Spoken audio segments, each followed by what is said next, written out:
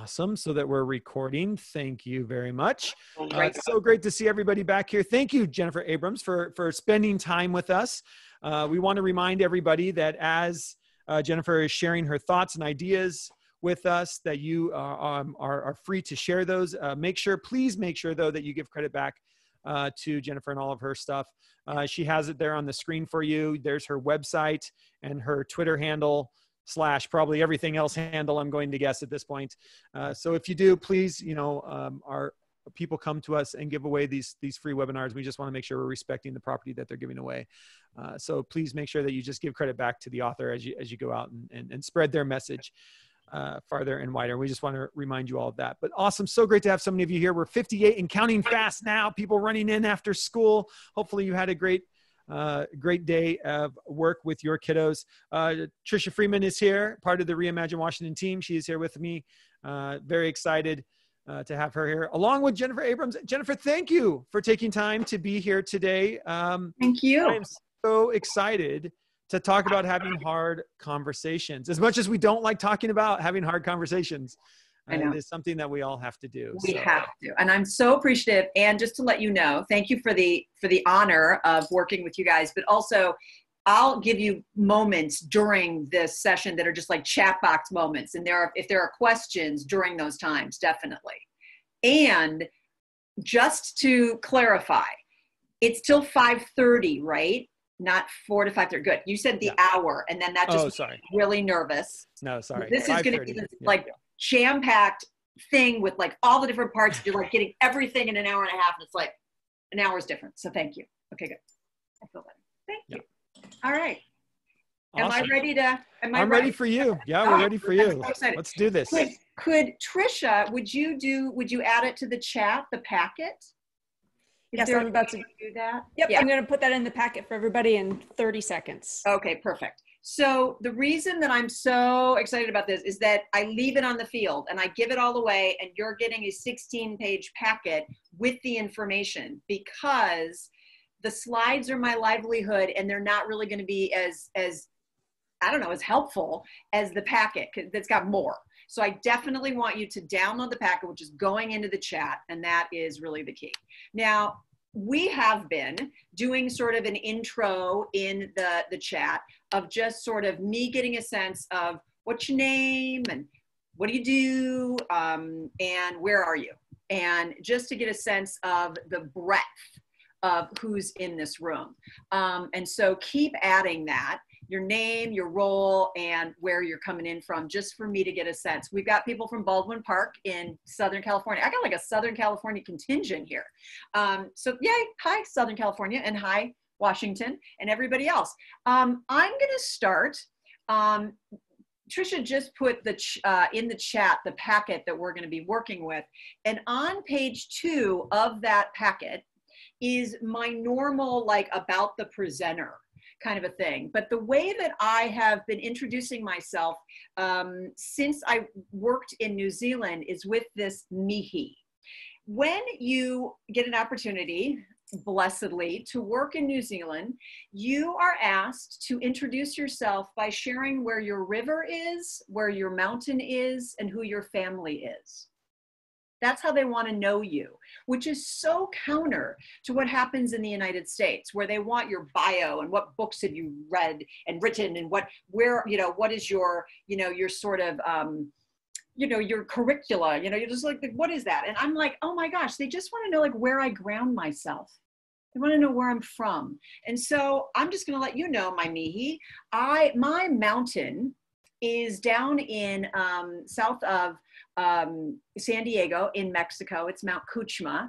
And I go down there and I hike in Tecate, Mexico. And that's where I really ground myself at least every year. And my river is metaphorically not a river, it's actually a real ocean. And I am a West Coaster. I live on this coast, been here for over 30 years in uh, this region of the United States. And so that's the Pacific Ocean.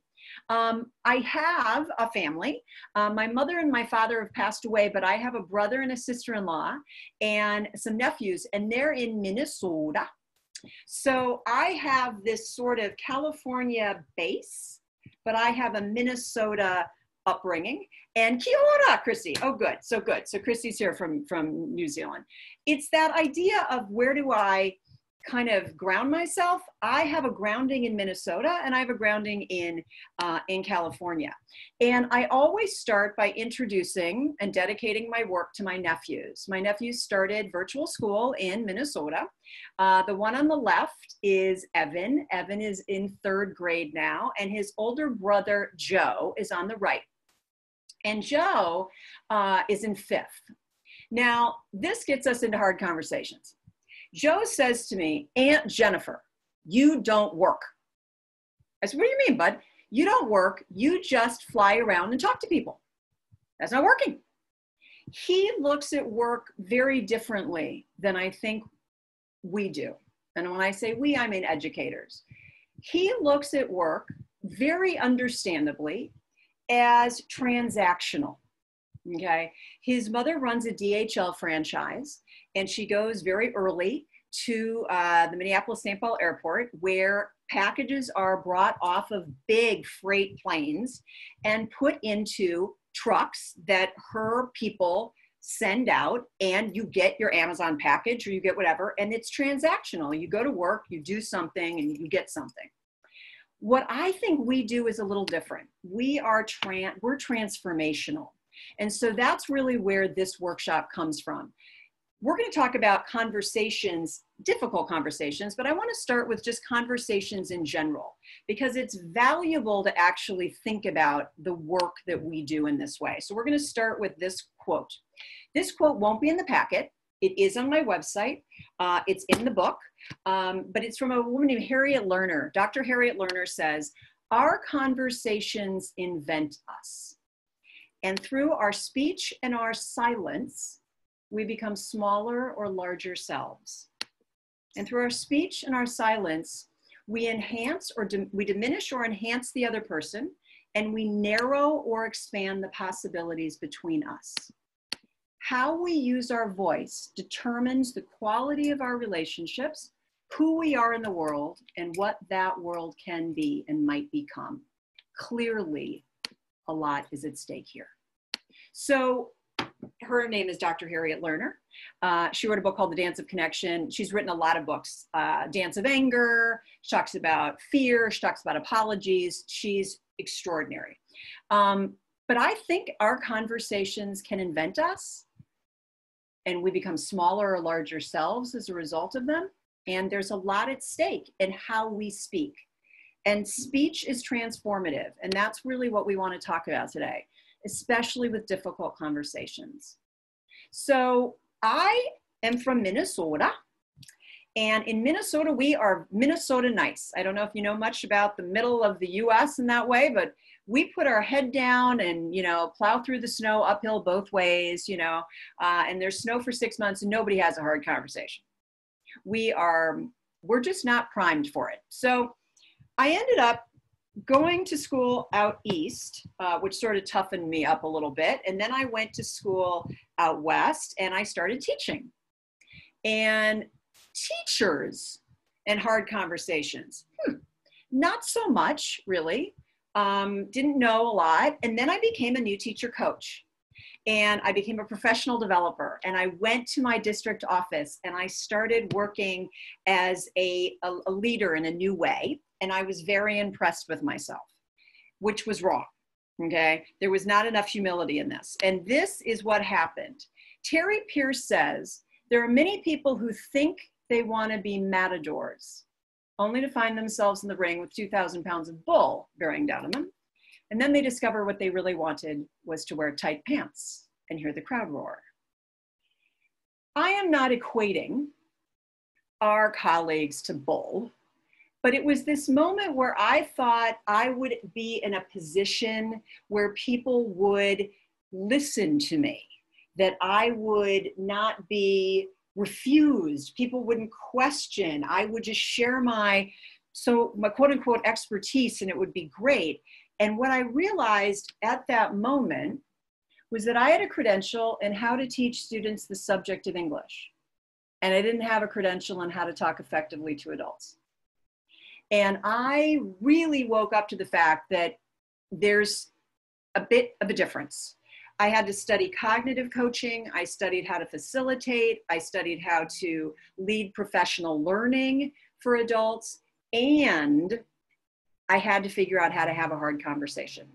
And I wasn't finding many people in my area at the time as models.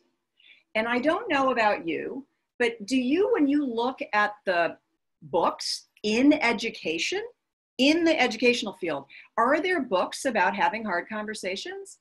They're usually outside our field, um, they're in corporate, or they're in, they're about how to deal with a difficult employee or a difficult parent.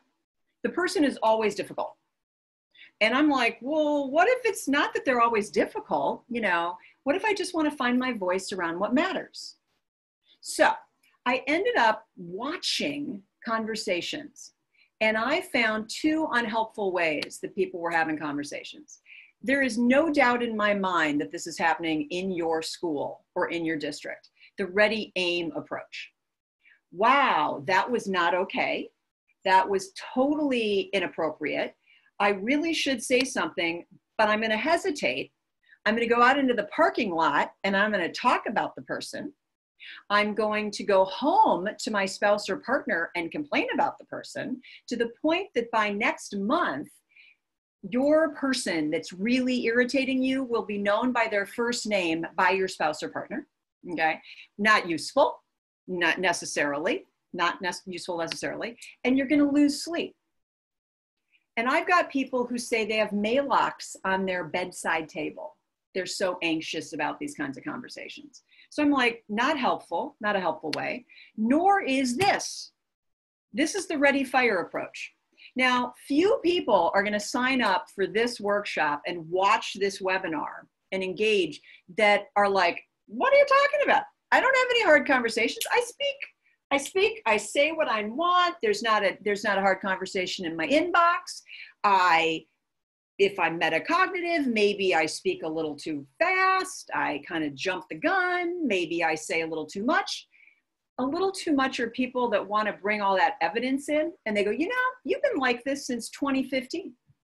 And then people are like, how long have you felt this way? And that's absurd. So I think to myself, there's got to be a middle ground.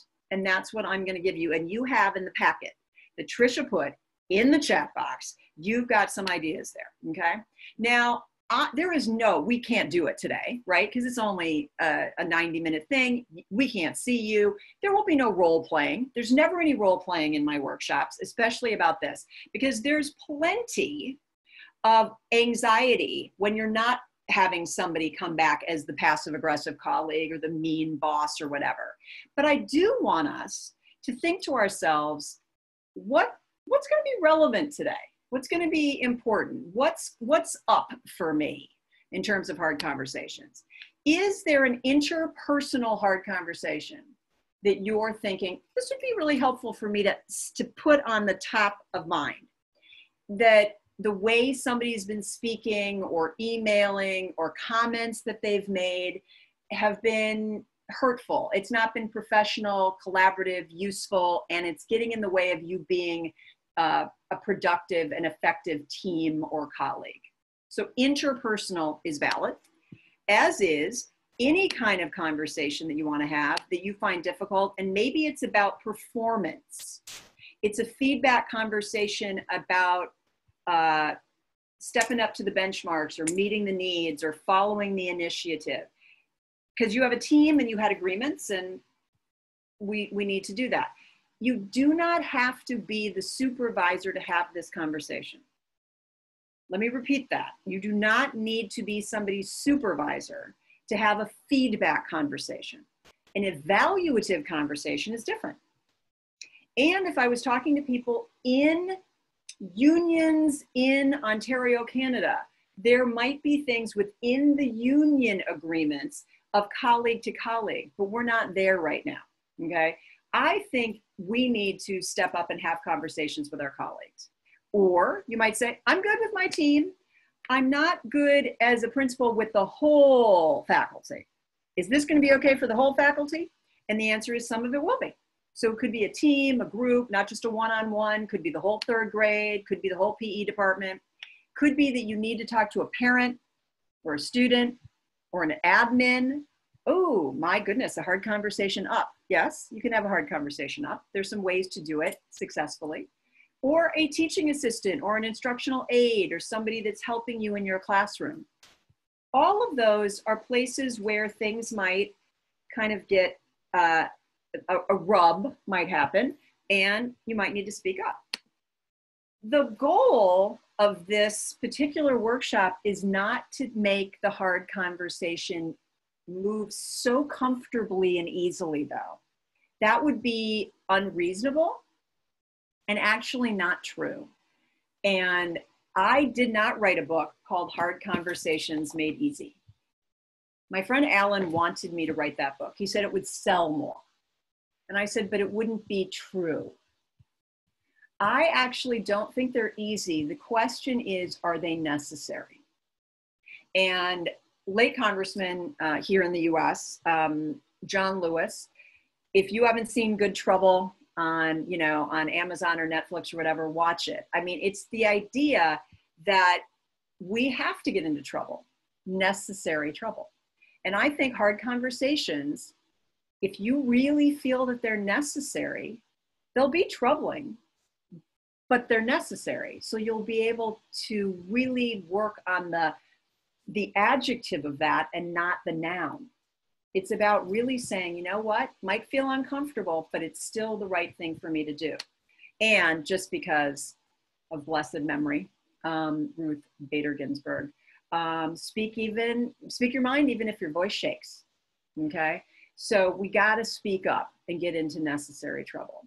So if we're going to honor those two amazing uh, statesmen and women, we got to do it. Now, you might say, oh, no, I don't want to do it. You know who really should do it? The principal or the person who has the office or the person who has uh, the business card, the one who makes more money. Because I usually do, I, I talk to people, a whole school okay, will come and it will be the custodian and the assistant and the, the secretary. I got the whole group in a room and they pull me over and they're like, you know who really needs to do this is the principal. It's really not our job. And this is, this is the good or bad news here. I'll look at whoever that is and I'll say, are you over the age of 18?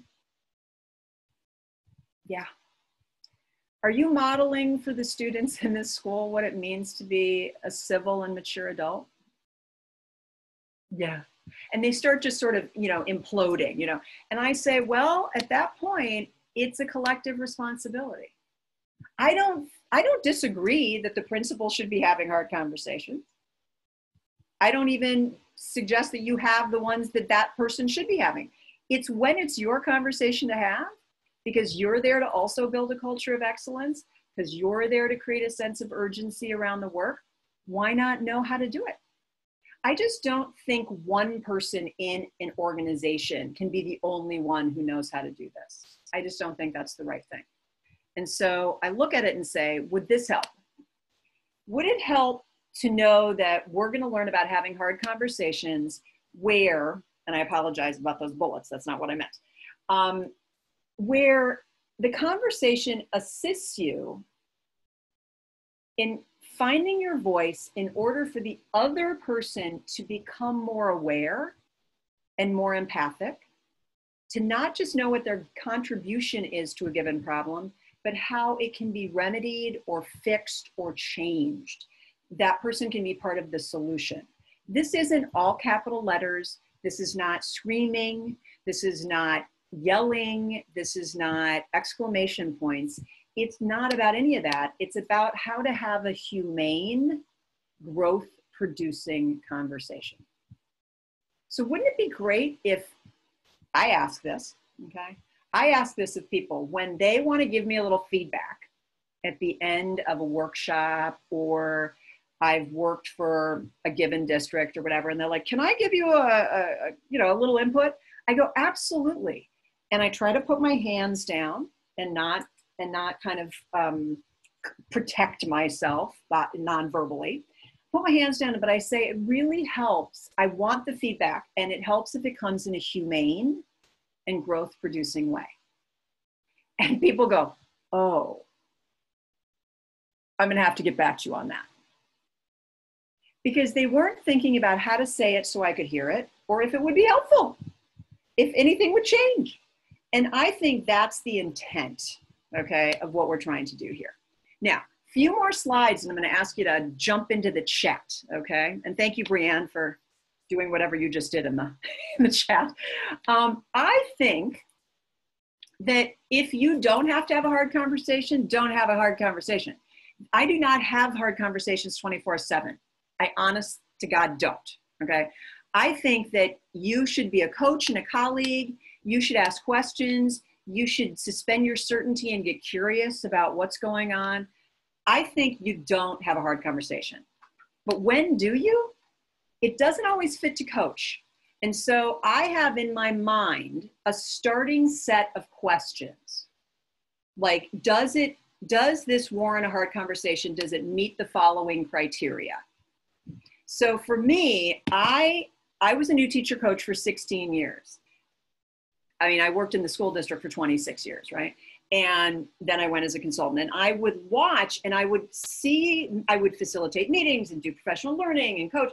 And I would think to myself, is this educationally or professionally unsound for students or staff?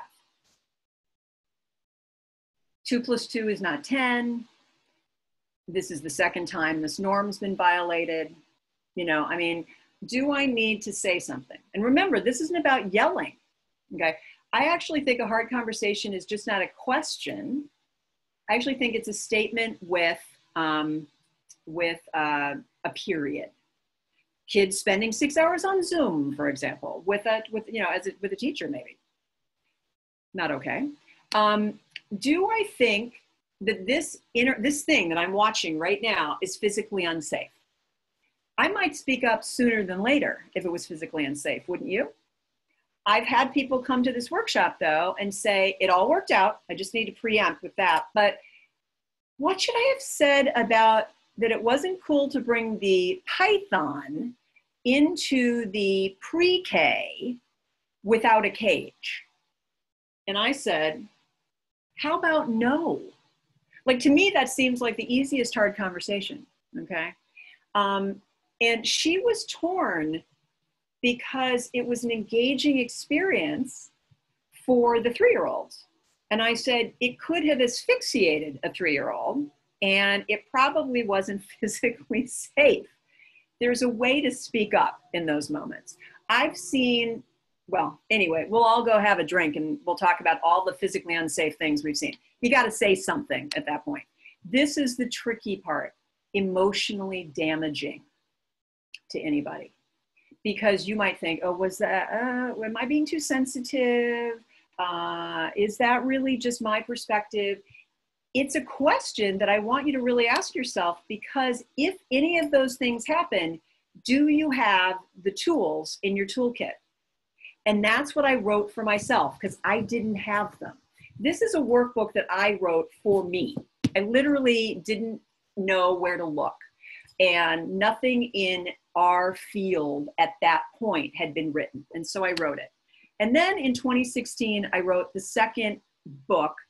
It's not the newer version of the first book, it's the addition. It's like people go, You didn't address this, and you didn't address this, and you didn't address this. I can't do it all in 90 minutes, but there's more. Okay. And if you're thinking about it, there you go. Right. So just a chat box, three minutes, two minutes any questions that maybe uh, Jeff and Trisha are seeing in the thing? Are there insights, questions, moments of ahas, thoughts? What are you thinking? And I'll just take two minutes and I'm going to put on my own little timer and then we're going to go in.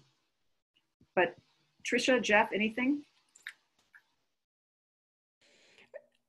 Yeah, please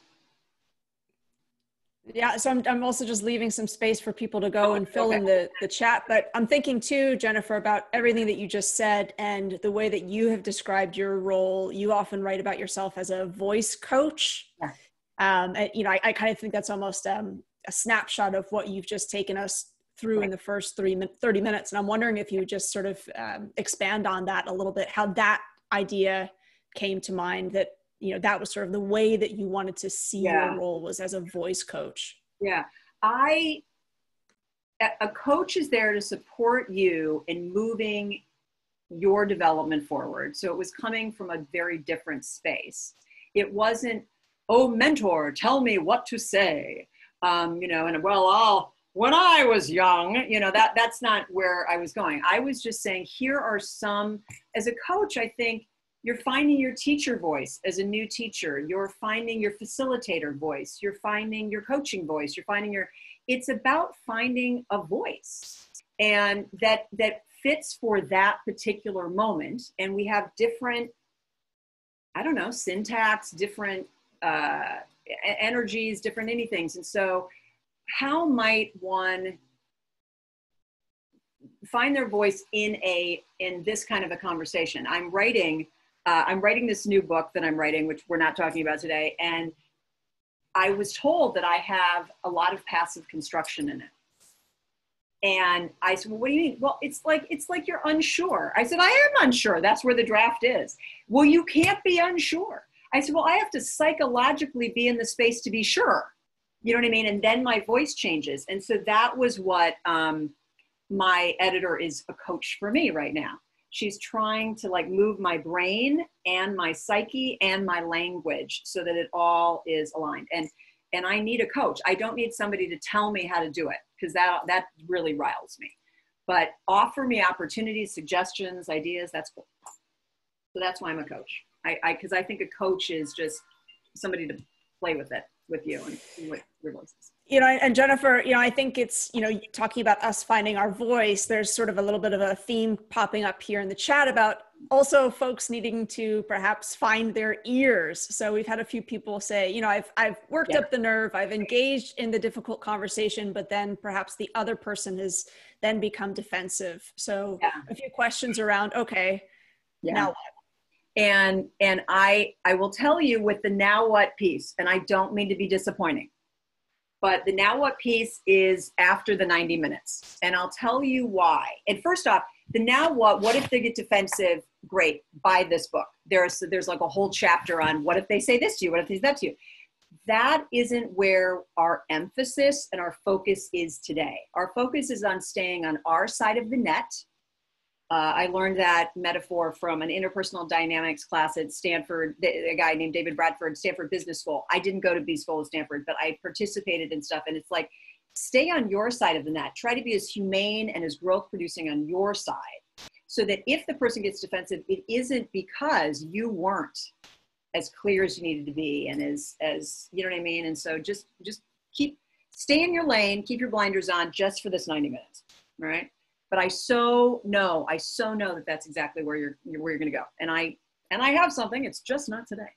So I want us to have us think about a case study in our mind. Okay. I want to go over why we hesitate really fast to honor that, but to change your frame around it. In the packet, you've got questions to ask yourself before you speak up. We're going to talk about how do we say things professionally? How do we plan for the conversation? And I'll get you, and you have it in the packet, a scripting scaffold. Okay. Um, and then I'll finish up with some what's or where's or when, some body language stuff, some stuff to do. So that's literally, you've got something in your packet. But that's that's it. And thank you. Trisha's written. Um, here's the packet again. So if you came late in the chat, it's now it's right there at the at the at the bottom.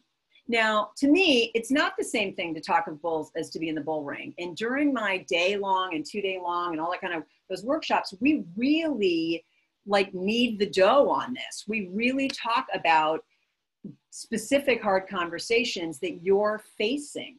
And it's not theoretical. I'm not trying to increase your level of, of hysterical. I'm just saying, let's make it relevant. So keep thinking is there a hard conversation that you want to have? And what are the circumstances? And, and what's bothering you? And then we're going to go into this thing. What's, what are some of the reasons you haven't said anything yet? Because I want to honor those, those reasons. And you'll notice that I didn't say, what are some of your excuses? Okay, that's not what I mean. I'm really saying that it's a reasonable thing to hesitate and an understandable thing to hesitate. And so you should feel okay that you hesitated. Okay? I give you I give you permission to hesitate. And I'm going to reframe those hesitations as competing commitments. Robert Keegan and Lisa Laskow Lahey are two Harvard um, psychologist. Uh, he was a professor. She, I think, still works there in the School of Ed. And they wrote this book, How the Way We Talk Can Change the Way We Work. And the first half of this book is about how you talk to yourself, not even about anybody else. How do you talk to yourself? And you know that all of those hesitations are you talking to yourself, no, I shouldn't do it, I should do it. And you don't do it, you don't have the hard conversation, and then things do change in work because you didn't okay? They would call them competing commitments. These hesitations on page three in your packet, the tensions, the, the competing commitments that I really know from people, and they're in chapter two of the book, to be reasonable and normal are internal commitments because you really are committed, for example, to being liked. And that's not wrong you want to be liked. You have an internal commitment to being the good person, to being the, I was the, you know, I was the third child and I was always the go along, get along. And I like being the one that everybody thinks is so easygoing. And I can't have a hard conversation because I would, it would compete with that internal need. Okay. It's competing. It doesn't always have to win this, this need in here. So I want you to look at it with less rigidity. It's not in concrete. These are normal competing commitments, and they don't have to win. Safety. There are some people that will say to me, I have a mortgage and I have two kids, and if I speak up, I will be known as the upstart and I won't keep my job, and my financial safety is more important. Or ready? They're retiring soon anyway. So why bother this year? Why speak up? I mean, I know it's not really good for the team for the next nine months, and all of our Zoom calls are really going to be a pain, but she's going to be gone in 2021. So it's about your personal comfort over having the hard conversation. Just, I'm just, I'm not judging it. I'm, I'm showing it to you, sort of like in a mirror. Maybe you're going to tell me it's no sense of urgency. Hasn't happened more than two or three times. Therefore, we haven't hit the threshold. And then maybe if we do, we'll, we'll do it. But that's your reasoning as of right now. Maybe you want to get an A. I know people who say, I want to get an A in having this hard conversation. And until I know absolutely surely that everything's going to get beautiful, be beautiful, and I can wrap it up with a bow, I'm not having this conversation. That's a, that's a tricky one. Okay. There are two people in this conversation, right? Uh, maybe you're going to tell me distrusting yourself. I'm new to my job. I'm new to the field. I'm new to this school. I'm just new to this, this role. I don't know how things go. Or you don't know if the other person's going to be able to handle it. And I'm going to tell a story for one minute about that. And I call it The Cat Just Died. So I say to Trisha, Trisha, we have to talk to Jeff he's not meeting his he agreed to and he's not meeting those expectations and we really do need to talk to him because as a team it's not we're not being moved forward and trisha says you can't jeff's cat died this week and he's really not able to hear you and i say well i don't want to be a mean person i don't have a cat but i don't want to be a mean person so we'll we'll we'll allow for some personal care right now and we will let go of the professional accountability. Right now, we'll just focus. And then I'll say, is next week better? And Trish goes, you won't believe this. He got into a car crash. my gosh. Now we really have to focus on Jeff. We can't focus on him as a professional. We have to focus on, on him as a person. But then the next week his mother breaks a hip. And the next week his kid gets the flu. And there's a lot of cats dying. Okay. The question is can we have personal care and professional accountability, or are they mutually exclusive? And I actually don't think they are. I think you can hold care and hold professional accountability. Maybe you're going to tell me, Jennifer, you don't understand things here in Washington. In small towns, We have the roles are too enmeshed. We go to church with these people. We, uh, our kids play on the same baseball team.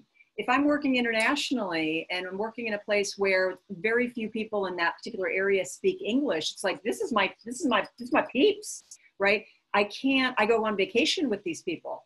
Can you can you be can you like decouple that? It's an interesting challenge.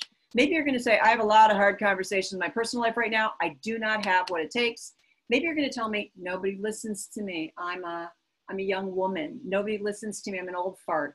Nobody listens to me. I'm African American. Nobody listens to me um, about what I want to talk about as a person who identifies as white.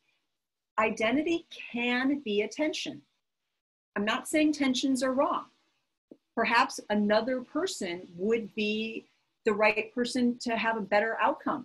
It's a good question. Fatigue, I'm going to hit them or cry.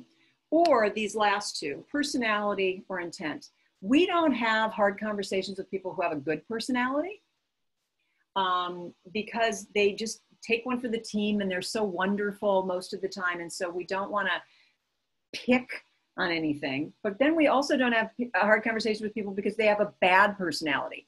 And in the chat, people talk about what about people who are mean? What about people who are so defensive? I I wonder if we let them off the hook because we might say they don't mean it. They don't intend to be that way. They're just going through a rough time or intention, you know, might be, you know, what can I do? You know, I'm from I had one person who said, What can I do? I'm from New York. Had a person who literally said that.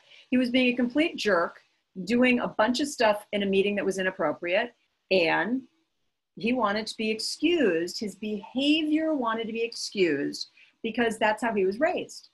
I'm not interested in intent as I am in impact. I'm not as interested in personality as I am in actions and behaviors. And my guess is for most of us in public schools, we've got, and I bet in most private independent schools as well, we've got professionalism standards. And it isn't about personality, it's about professional behavior. So, what wins out when we don't speak up is on page four. And there's just some cool quotes there about pain and guilt and not living by your principles, and that there's a negative impact. But I wanted just to mention all of that and just say do you see yourself? Because it's perfectly okay. And we're moving forward, whether you have those tensions or not.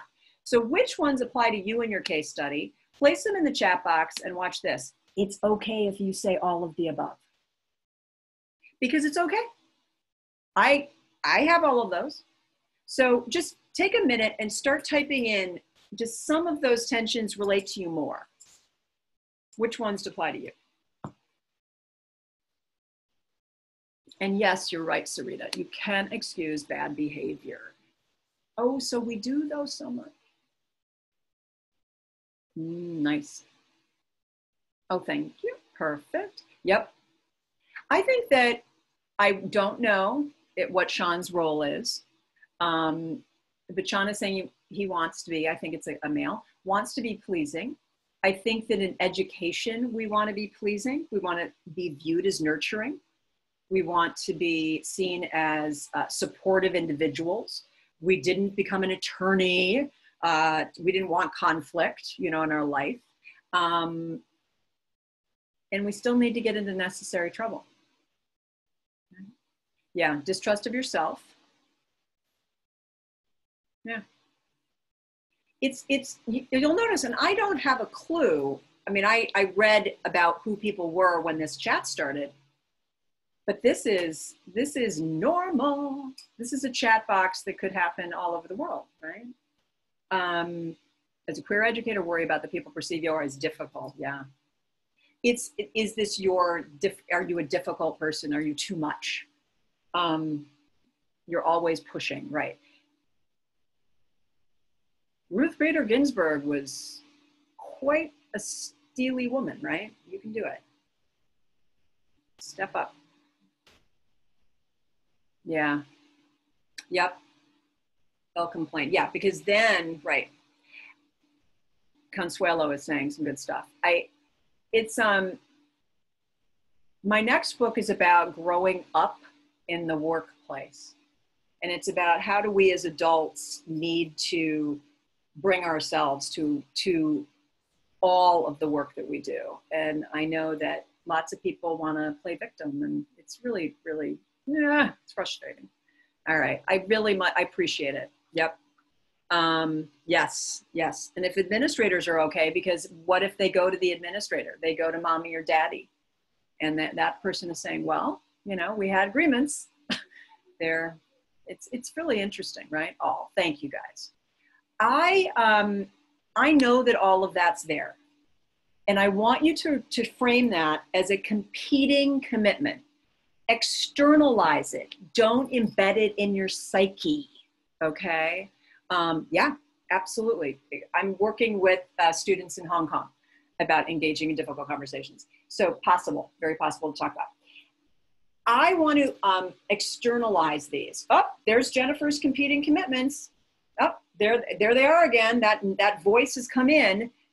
You, if you can externalize it and say you, you don't always need to run everything. Distrust. You don't always have to run everything. Perfectionism maybe we can see it for attention and then feel that fear and do it anyway. And so Eleanor Roosevelt is coming to mind at this point. You can do the thing you think you can't. If you have enough, uh, if you can go cognitive.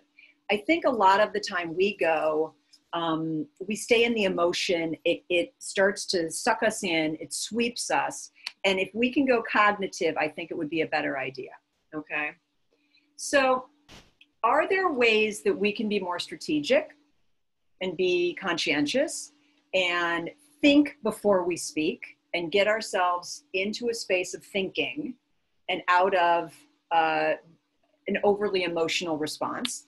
And I call this, um, for me, because I'm a ready fire person, managing my impulsivity or not going to the ceiling if I feel like something's really wrong, I have an immediate impulse to speak up. Some of these questions will ask me to kind of think about that for a minute. I also call it this is the section of not allowing the alien in your stomach to pop out. For some of us, we remember Sigourney Weaver in the movie Alien um, from, I think, the late 70s, where she had an alien in her stomach in the sci fi, and this ugly, ugly alien came out of the stomach it was so ugly. That is me when I think kids are not being served. not cool. So you have to figure out how to say something in a humane way. So there are questions that I have I've, I've offered you. They're on pages five to eight. There's like 72 questions there. And they're questions that people can ask themselves before they have a hard conversation. They are in categories. These are the seven categories. So on pages five to eight, and if you are still wondering where, what, what five to eight, Trisha has put uh, a Google Doc in um, a doc into the chat box. So on pages five to eight, there are 70 plus questions in categories that I think people need to consider before they speak up. I don't know you. I don't know you from the chat. I don't know who you are. So I don't know if I need to only point you to the timing or the consequences or the doability or whatever. So I need you to skim them all. Doesn't mean that I need you to answer every single one before you have a hard conversation. It's not my intent. Okay. I just have to put them all out there because I don't know who's reading. And you're going to put them through your filter of metacognition and say, with regards to yourself or your case study, what are the top five questions you need to consider? And if you could, without annotation or explanation, there's really no need for that because that would take way too long. Take three or four minutes and just, I'm going to time it for three, and skim pages five to eight. And just so that I know, I just so that I know you're there, um, please write down one or two of the questions in the chat. Because just things that resonated with you. And it'd be interesting just to see how varied they are. And if, the, if somebody has already done it, you can put the same question again too. It's all good.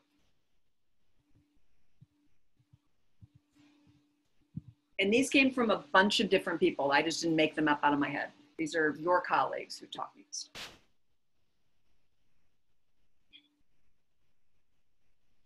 Mm-hmm. Good question, Trisha. it's so it's so interesting because Shannon's writing, do I have to say anything or will it fix itself? And and you know, and you're saying, what would happen to the students if I didn't speak? There's one is an urgency and one's like, please no urgency. Very funny. Yeah, yeah. Some of it is more about the emotion. Some of it's about being other focused. Very cool. Yeah. Yep. I promise that we'll talk about emotions at the end. You'll laugh. It'll be the last thing that we do. Yep. See how some of these are really cognitive and some of these are really emotional? I mean, I think it really depends, right? Good question, Marcia. Do I model what I'm looking for? Because they'll let you know. if you're not walking your talk, hypocrisy right now is very much on my mind in the political sphere. Don't walk your talk, I walk your talk. Yep. Yeah. Daria, yeah. It's a really sweet question to ask. Why does a reasonable, rational, decent person do this? You know, what what would their what would their rationale be? Why is that happening? It's a great question. Yeah. Okay. Just another 45 seconds or so. Yeah.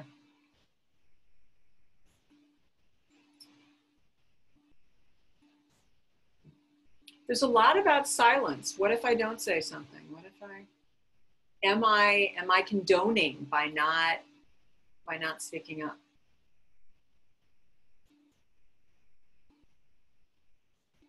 There's a lot of people with deep principle in this group that are torn by not saying things. I, I, I respect that. I respect that you're torn. I understand the tearing. Yep. Mm-hmm. Hmm. Interesting. Yep. Interesting. Very cool. Deep. You're deep people. Um, so,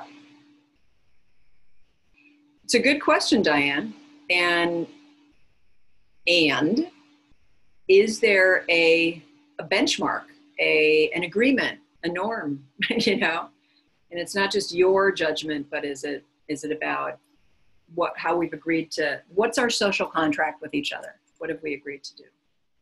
Yes, interesting. Does decisiveness come off as a dictatorship? We need to have a talk to Pal.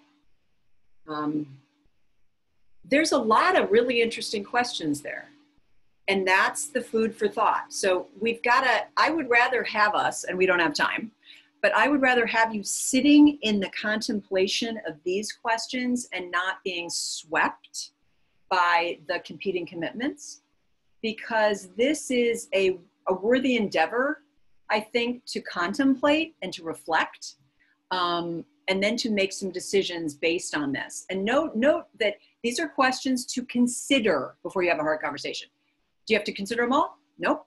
And do you need to have a hard conversation now that you've been doing this? Nope. It's just the idea that you were thinking before you speak. And two things that I didn't see in the chat, but that I do know move this workshop forward and will make a better and a more humane growth producing conversation is do you know before you even think about having this hard conversation what the real problem is and are you able to state it in a professional way. Because you know that you have had people come at, at you uh, to you but at you. This isn't working. You know my kid's not feeling safe. It's it's it's um, a little emotional and it's not clear enough okay? So that's the first question that i want to get into. And then the second question is Do you have an action plan thought out with which to move forward? If the person said to you, Well, what do you want me to do about it? whether you're their colleague or not, whether you're of equal status or whatever, what do you want me to do about it? I, it's better if you have an answer. You may not ever be asked that question, but I want you to know an answer to that because I think it's more future focused. So that's where we're headed. But for fun, I thought what I'd start with is the good news that you might not even need to have a hard conversation. How's that? You can't leave the webinar yet, but how about maybe you need to have a clarifying conversation? Do you know that you and this person have had a clarifying conversation about this before? Do you know that what you are expecting or what you're about to speak about is is something that isn't coming out of left field okay and that i think is huge. Clarifying conversations. Essential. This is a quote that's in chapter i think four of my of my book. I'm trying to remember. Almost all conflict is a result of violated expectations. My question to you is do both parties in this have the same expectations? My guess is that somebody violated an expectation, but was it just in your head? And I talk about an ex-boyfriend named Sean all the time because I it's happened to me. I'm owning that I have not had clarifying conversations. I was angry at an ex-boyfriend because he was not connecting with me. And I was really frustrated because he wasn't being a good boyfriend and he wasn't connecting with me. Now, do you think I had ever sat down with him to talk about how I wanted to be connected with? No, he should just have read my mind. He should have known that he should send me flowers the first Monday of every month and he should talk to me three times a day. And isn't that something that he should just know? we know that we're never clear like that a lot of the time in our personal relationships. I just want to know are you sure in your professional relationships that you have been clear? Now, to me, clarity has to come before accountability. Period. I just think everybody has to be on the same page. So I think to myself, are we working with people who haven't looked at their job description in 23 years? Has the job description changed? Um, do we have different norms? Do we have different agreements? Have things shifted? Were we ever clear to begin with? And if we haven't, we got to have a clarifying instead of a hard conversation. Now, let's say we're talking to a colleague and they're a teacher and we're a teacher. I think classroom management or having a safe and a, clim- a climate of belonging, that's pretty clear. That's probably in your state standards. It's in our state standards. It's, it's something that we have agreed to is something that's part of what we do. And there is PBIS, and there's discipline with dignity, and there's, I don't know, um, morning meeting, and you're all saying, "What are you talking about?" What you're t- what I'm talking about is the all the different classroom management practices and programs. So, are we sure just that we don't have just classroom management, but we have an understanding of what we're doing at this school. Same thing with what we're doing with English as an additional language or EL learners or working with special needs or learning support. Are there norms, expectations? Does everybody know that? Are we working on planning and instruction and assessment in a specific way? I think it's a valid conversation to have. I just don't know how specific you've been. And is everybody a professional? That's the tricky part. Okay. In the book on the right of the slide, I have a resource that asks specific questions about all of this. But where's your hard conversation localized if it's with a teacher? If it's about professionalism, the reason that I am so into this uh, is not just the next book, but a book I also wrote because I was a new teacher coach for 16 years and I wrote a book called The Multi Generational Workplace. And I wrote it after I realized again, I mean, poor Sean, the ex boyfriend, and poor my new teachers for a while because what I was telling them to begin with was welcome to Palo Alto Unified. If you're respectful, you're courteous, you're sensitive and timely, you'll do just fine here. And then I would not. And then my respectful wasn't their respectful. My courteous wasn't their courteous. My timely wasn't their timely. And I realized we needed to be more explicit. So if you've got rubs, things that are not really, that are bugging you, I think you need more explicitness to start at least about email. Timely. I don't know what timely is. And certain districts have said you've got to get back to parents within 24 hours. Okay. Better than get back in a timely way. Okay. Because I timely is different. How do we work with our colleagues and at staff meetings? How do we, um, what can we expect of somebody when we come together? Um, working with office staff, does everybody know what the school secretary does and doesn't do? Um, we had some problems with dress code. I'm talking about the adults, okay? In the time of Zoom now, um, there's been some real interesting conversation about adults and what they should wear on, on, on a Zoom call a shirt maybe you know not your swim trunks you know but people are instead of being disgusted or shocked be clear that's all i'm saying and how do we handle conflict so for me i look at it and say how can i frame my conversation professionally and if you're not going to have a hard conversation with a teacher do you have language that's neutral for anybody else uh, does it fall into a, a leadership framework? Is there language that's more neutral? And the same thing with principals. I'm going to move through this. And the same thing with administrative assistants or instructional aides or business office. I just know that most job descriptions are not as clear as they need to be. Uh, I had a lot of other duties as assigned.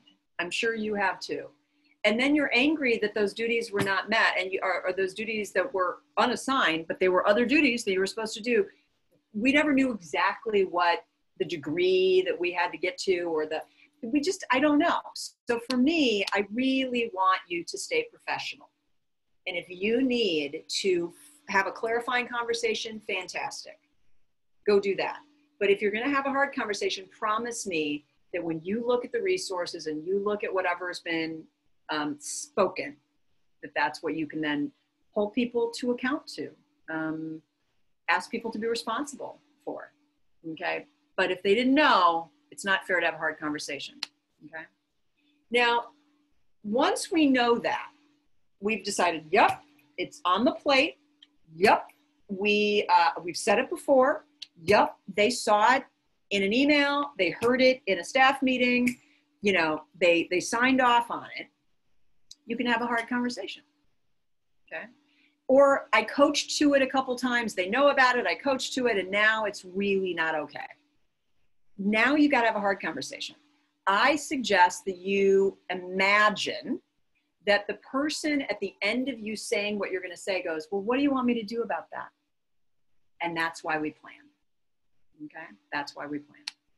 So on page nine, we have a one pager it's a chapter in the book uh, of an outcome map. And this outcome map is a map that my colleagues, Bob uh, Garmston and Bruce Wellman, used in a book called The Adaptive School, which is a fantastic book. And they are two of my favorite uh, colleagues. And the map in their book was not for a hard conversation, it was just a planning map. And I asked for permission to add it to my book to plan for a hard conversation. But you could use this map for any kind of plan. Okay. It's a thinking map. The first thing that I want you to know about this map on page nine is that you do not fill this map out and then hand it to the other person. Oh, here's your problem, and hand it.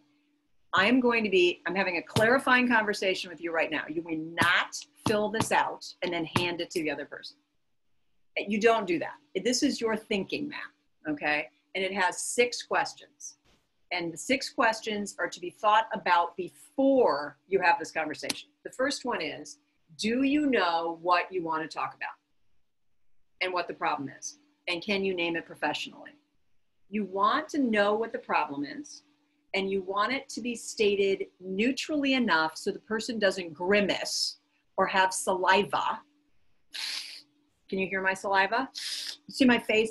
you don't want the person to already be so upset the minute that something comes out of your mouth because it's caused saliva. I call that a saliva moment.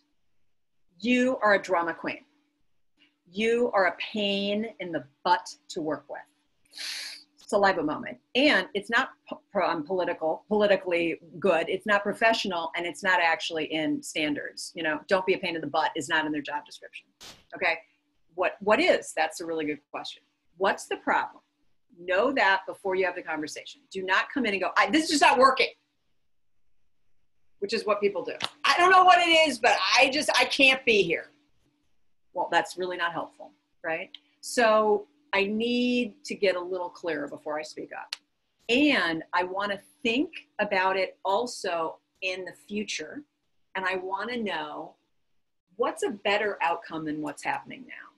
So the problem is we're not as collaborative as we would. I, I, I don't feel like this collaborative relationship is as effective as it as it could be, and I'd love for us to work effectively together. That's it's moving us from a problem to a, a possible outcome, a, a future, a, a desired state. It's much more uh, future focused. And the reason that I want us to move there is because I just don't want you to get stuck in the blaming and irritation. And I want us to think ahead to what we want instead of what we got. Okay. Now, the thing that we don't do enough of is we don't get to, well, what do you want me to do about it? We do this with students. We don't do it with other adults. And I understand why. But what would it look like and sound like if the person was more successful in whatever you want them to be doing. As a new teacher coach, and I love administrators, I've dated administrators, administrators are my friends. I just have this feeling that people, let me go backwards, administrators go from problem to outcome and never move past it. And as a new teacher coach, I watched people go, um, I just sense there's not enough engagement in your class and um, just need more, okay? And then the new teacher had no idea what to do. It wasn't, it wasn't, it was maybe humane. I mean, at least engagement was in the standards, but it wasn't growth producing. Not helpful, okay? Um, you, um, I had one person who said, I just sense you just don't have enough presence in the classroom, you know, like presence. Uh, you just need to have more of that. How can anybody do anything with that? It's not growth producing. So for me, I really want you to think to yourself, what would it look like and sound like in your mind if the person was more successful, better, the relationship was good, the, the, the teacher was differentiating, you were co teaching more effectively. I don't know what it is, but think to yourself what are some things, if the person said to you, Well, what do you want me to do about it? you'd be able to tell them. Now, I have one person ready for the saliva. Do you want me to tell another adult exactly what to do? We hired them. They're an adult, they're older than me. They've been here longer than me. I do not need to spoon feed them. And this was ready for the saliva do you want me to bring my own spoon so that I can spoon feed them? I was like, saliva, that's not the intention of this. We're trying to be humane and we're trying to be growth producing. So they're not doing it. Be supportive, plan. Why might they not be doing it is the next question. But what are they, what do you want them to do? Now, I want us to get, and this would be the two day workshop, I want us to think internally, why might that person not be doing it right now? What internally in them can't they resource? Can't they access? And I don't want you to ask the question, like, why aren't they doing it with an attitude? It's compassionate curiosity. Why is this person not doing it right now? And that's going to lead us to page 10. And on page 10 is a set of questions for you, and this is why I really love to really go deep into this workshop. It's a deep dive into being more allocentric. Allocentric is being other focused. Okay. Um, what is going on with them? Other focused. Is it a cognitive shift they're going to need to make? Is it going to be an emotional challenge for them? Is it going to take? And most of the time, if you've read any of Dan and what a Dan Heath and his brother, I can't remember the guy's name, the Heath brothers, it's skill and will. Okay. Um, but it, what is it? Is it going to be cognitive? Is it going to be emotional or both? Maybe they don't have the, they never got the memo. They didn't, they don't have the information. Maybe they didn't attend the training and they don't have the skills. Maybe they don't believe this is a part of what should be going on, at which point there's maybe some conversation about philosophy and some differences and maybe not, you know, them being at the right place. But to me, it's a question of where is this rub coming from? Is it an identity thing? I've had people say, I, I didn't sign up for this. That is not what I thought I was doing as a teacher. I don't think this is the right job for me. They didn't think, you know, it was their identity. Um, it's an interesting question, though, to, to ask. Maybe you need to enforce some things things haven't been done a certain way and you need to enforce them and they just need you to be more direct maybe you need to give them some permission they just got there and they weren't able to do it in their last school but they can do it here maybe there are other barriers maybe there's uh, some challenges medically uh, mental health wise family wise that are just taking up their brain um, or maybe there's some social force or influence stuff there was a guy that I worked with that said, I just don't even understand what's going on here. And I don't know why this person's not doing it in the army, which is where I came from. They would have just been doing it. And I'm like, this isn't the army, this is education. He's like, I know, right? He's just walking around sort of in a daze, you know, uh, how how might I see things uh, from the way that the other person's seeing them? Because I see it with my filters, right? So for me, it's not that you're their therapist, but I do want you to think to yourself, what do I want this person to, to change if I can request it or enforce it or expect it? And why, why might they not be doing it? Because the person might say to you, well, how are you going to help me with this? Or what are you going to do on your end? And I want to have, if I am a partner in this or equally uh, involved or their supervisor or their mentor or their coach, I need to have some supports. What can I do to support this person to move forward? And my last question is what do you need in order to have this conversation? And those questions, if asked before you get into the hard conversation, if asked before, it'll be a better hard conversation in fact, you could say, oh, it's five o'clock, it's 5.10, I, I, I gotta go, I gotta go make dinner, I can't even be here for the script, which is the next page. But I'd, I'd say, great, bye, no problem. Because if you actually have this, you'll be in a better spot. The map is key, okay? So just a minute in the chat box. Given the outcome map format, and it's actually rows, it's not columns in the, in the packet that you've got it's rows, so I apologize. Which rows do you think you're going to need to put more attention in? Is there anything there that's surprising to you that you don't think about uh, enough? You know, which of those things do you not think about enough? And I'll actually put it up there. What, and just put in the all panelists and attendees. And then I'll show you the script. This is exciting. Yeah. yes, Martin. Nobody, I have people that are exactly like what you're saying, Martin. I'd never thought about that. I'd never thought about what I was looking for. I just expected leaders to be able to do stuff. My words should just, they should just know, like miraculously. And I'm like, ah. Yep. Yep. Perfect. Lots of, lots of different spots. yeah. if you are their supervisor or their facilitator in a team or their mentor or their coach or your role is to, as a curriculum, TOSA, or whatever, the supports are really, are really a responsibility that you need to take. Yep, you've got to take um, take on. Yeah. Yep. Yes. Perfect. It makes me think that if an expectation and a skill set don't match, we got to support and scaffold. Absolutely. And they're they may they may feel really awkward and embarrassed by that and a lot of other things. Yeah, absolutely.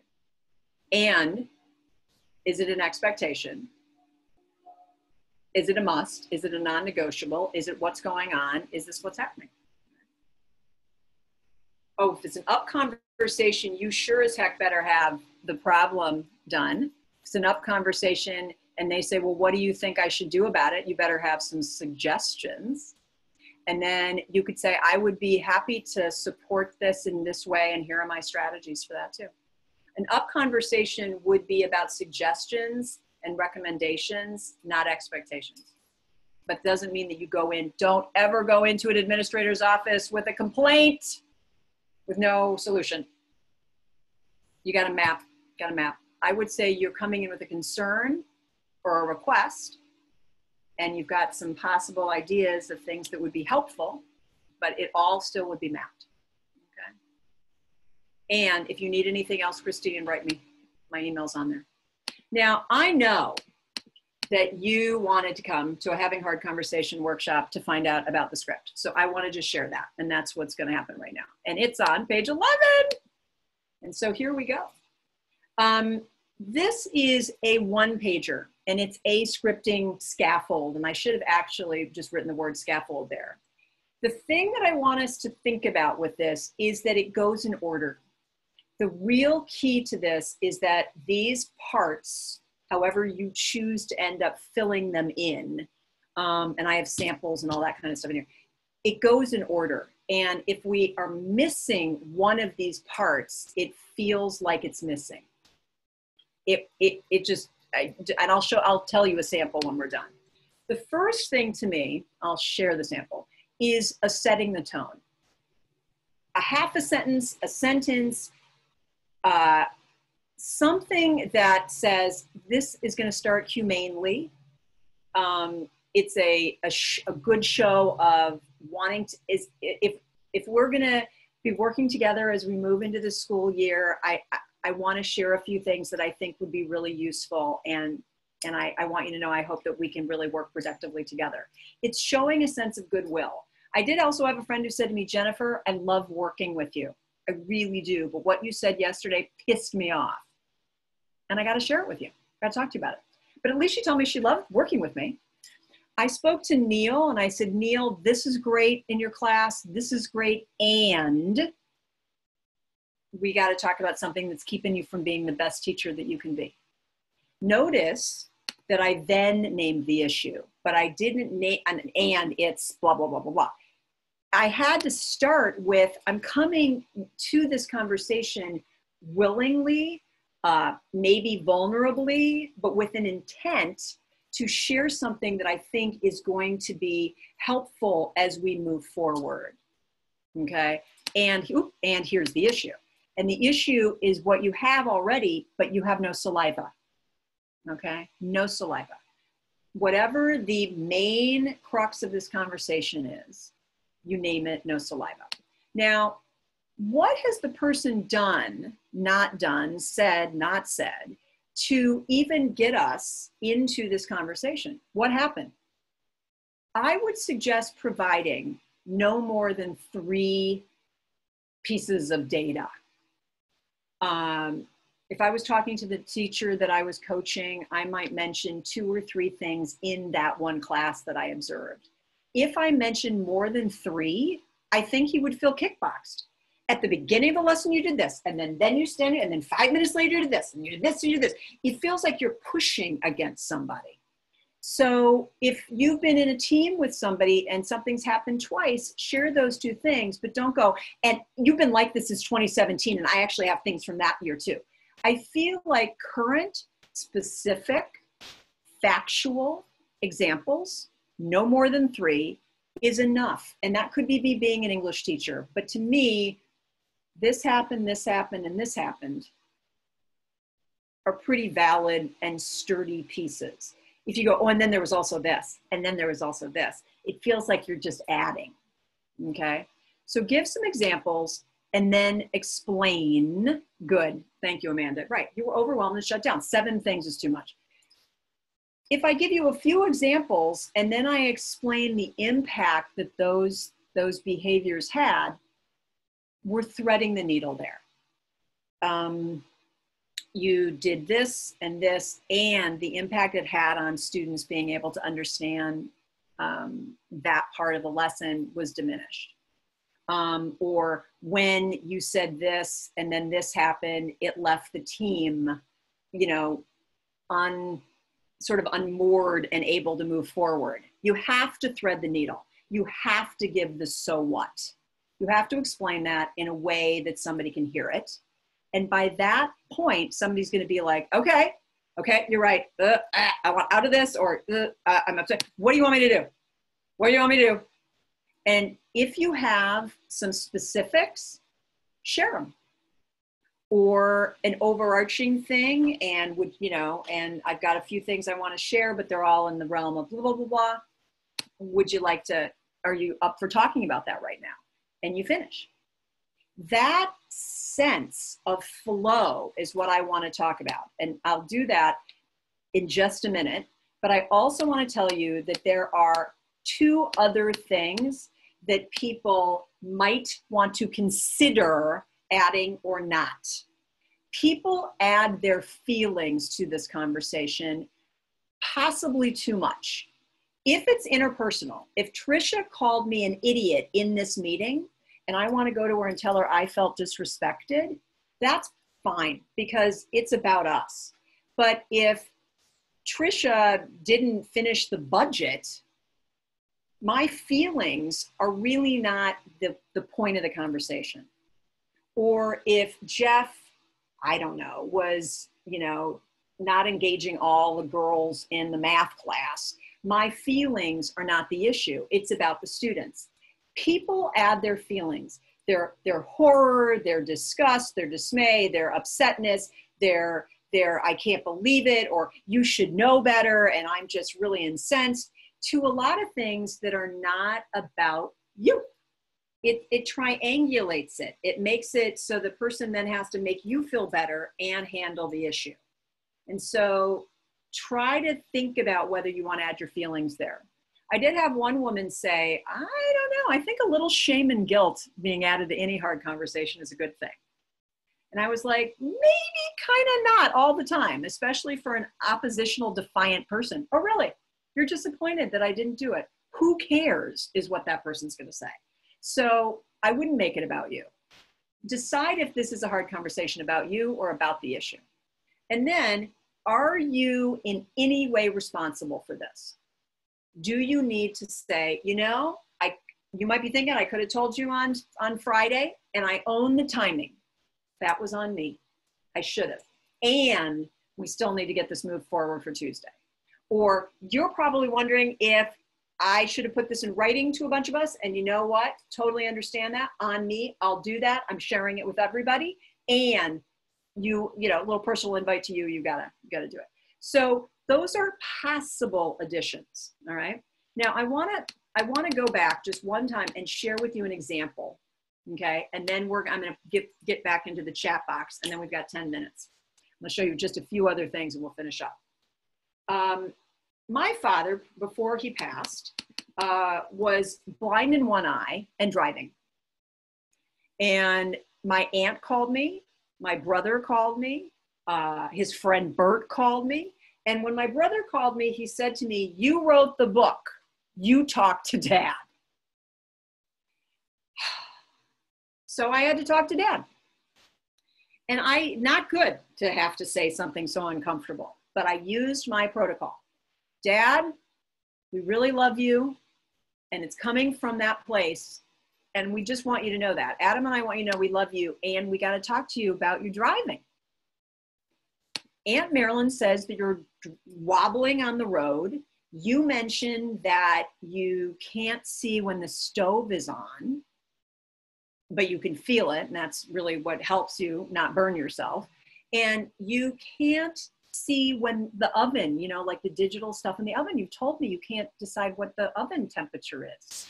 And I'm beginning to worry that driving is going to hurt you or hurt somebody else. And I know that you don't want that, and we don't want that. So Adam and I have talked about other ideas of how you can, you know, get around. And so we we want to talk about next steps. And I know it's not cool, but it's it's what we got to do. Is is do you want to talk about it now, or you want to take a few and just think about it? Now, his response to me in the moment was, "Go to hell." Okay you might get that. And I said to him, I get that this isn't fun. I didn't want to have the conversation, and it's still really a necessary one to have. And we're going to talk about it. I need you to take a minute and think about it, and I'm going to get, we're going to talk about it tomorrow. I knew it was necessary trouble. You've got to be able to talk about things that are uncomfortable, right? To me, holding on to these things make a real, a big difference, okay? So question to you which part of those do you think you need to work through more? Just take a, just a 60 seconds and then I'll show you some stuff to finish up. But where do you see yourself going, oop, I need to really prep?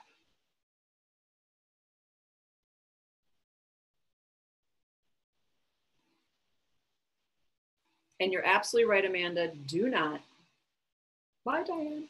And you're right. No, no list of six or seven things. No list. Anybody? 58 people. I still see you. Naming the problem. Thank you. Thank you, Trisha, for typing. It's um it's succinct, it's um it's also about something that they can they can get a handle on. If you just say they're an ineffective colleague or they're a terrible teacher, not only is that saliva e, but are they terrible in everything? And I've, I've talked to people because they blow it up and dramatize it. And it turns out that they're not terrible at planning and they're not terrible at instruction. They're terrible at classroom management. Well, that's way different, you know? So it's a huge thing. Okay. Naming the problem, clarifying the impact. Yeah. Okay. So when you're setting the tone, you feel disingenuous because you start out with a positive can you say, because um, I've had people say, I have nothing nice to say at all. I, I feel it's disingenuous. I don't say anything. Um, you could say, given that, da da da da da da da. There are a few things I think we need to, to, to really look at.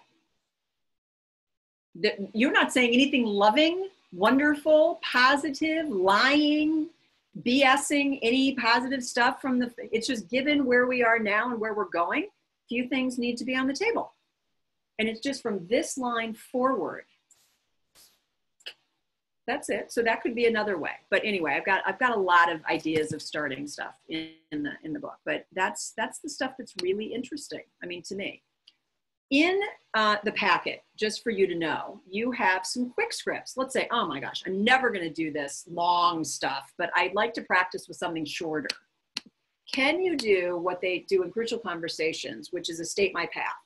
You saw something that wasn't really cool, and your brain, it went down and it had a path, and there was a negative impact. And you just want to share that action caused this effect. And I just want you to be aware did you know that? I have, um, I was up in Seattle having, doing a conversation prior to this first, this election that had just happened here in the US. And uh, my, um, my, uh, my political affiliation prior to that election dropped out of my mouth. No, I just did say something. And a gentleman at uh, lunch said, Can I talk to you? And he said, I noticed that you mentioned who you're voting for in the election and I'm beginning to feel it wasn't necessary. And it kind of distracted me because I'm not voting for that person. And I just needed you to know. And I said, thank you so much. I totally appreciate it. I apologize. Totally not, not necessary, wasn't part of the conversation. And thank you for coming to me. And he goes, no problem. And I said, no, thank you for coming to me. He goes, okay. And I said, do you understand that most people wouldn't have actually at by lunch have the courage or the maturity to come to the presenter and do that. They would have gone to their colleagues at lunch. They would have gone to the principal. And he goes, I don't understand that. I go, You don't need to be in the workshop anymore. You're done. You're great. But his response was so clear. He, he, he stated his path. It was distracting. It felt like he couldn't stay focused because now we're rubbed, you know, it was great. Second one, we're teaching this to kids, right? When you, I feel, you know, this is I messaging that we teach to children about what to do on the playground. I worry that we teach this, but we don't live it. Okay.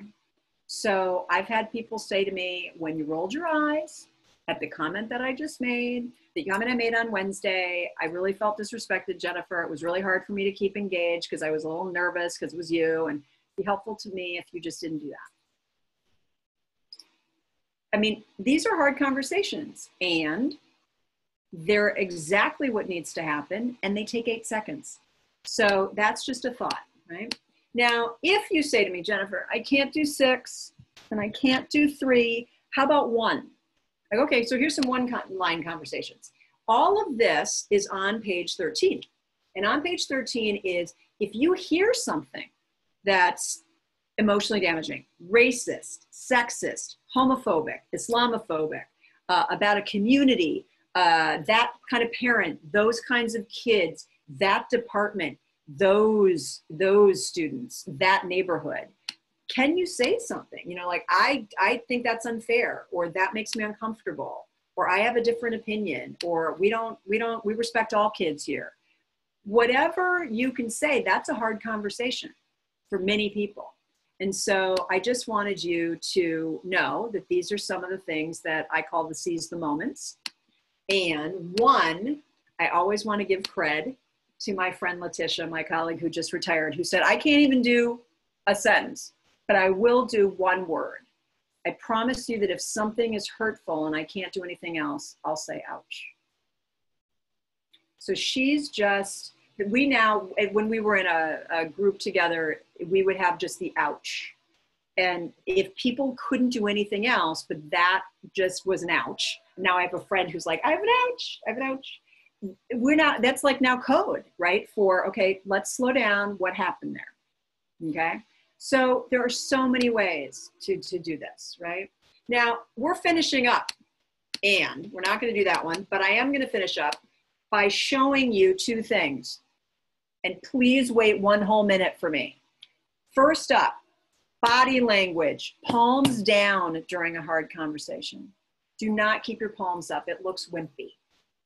Okay? Looks like you're beggy.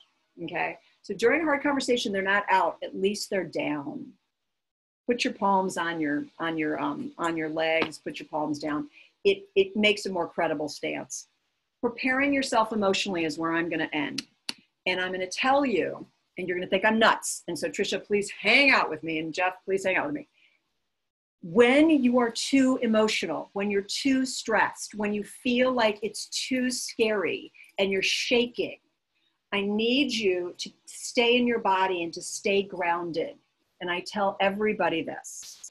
I need you to do what my colleague, um, an actor colleague, uh, Eric Booth, taught me.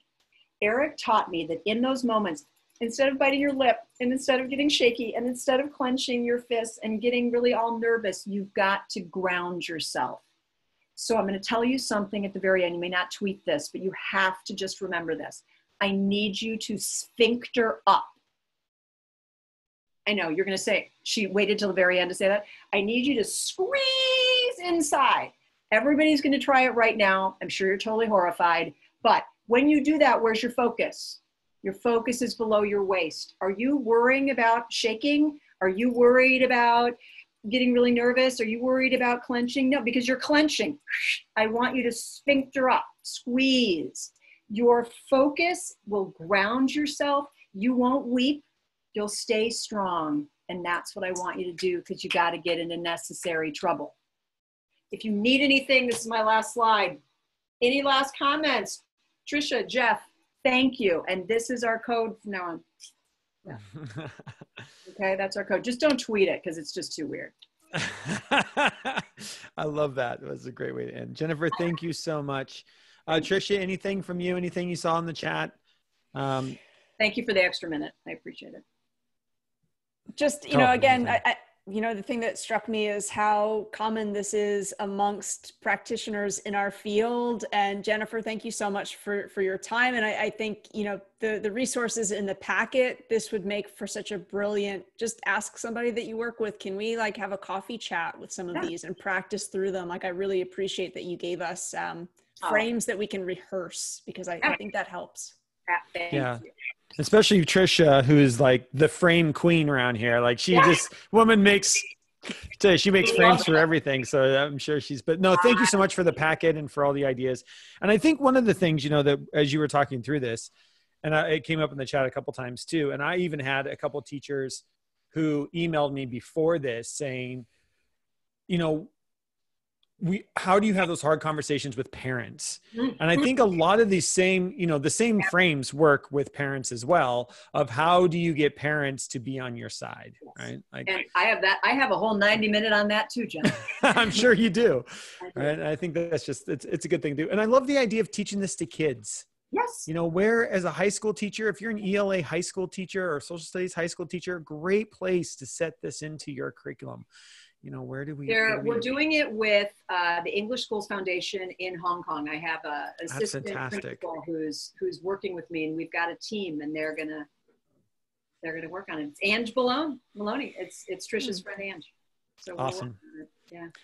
Awesome. Well, Jennifer's contacts are there on the screen, and we'll make sure that they are uh, everywhere that this ends up being uh, put out as well, so you can reach out to her.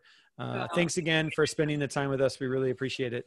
Thank you. And I feel like I need you to give me like a digital signature on my copy Oh, of your book. Like you if you just it, sign girl. it. There we go. Great. Thank you. All right. Talk to you all later. Thank you for the opportunity. All right. Thank you. Have a good one. Take care.